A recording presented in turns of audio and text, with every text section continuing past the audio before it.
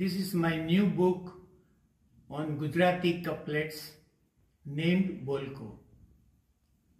I'm very happy to tell and thankful to BUUKS.com publishers for doing a very nice job of neat and clean and I'm loving it.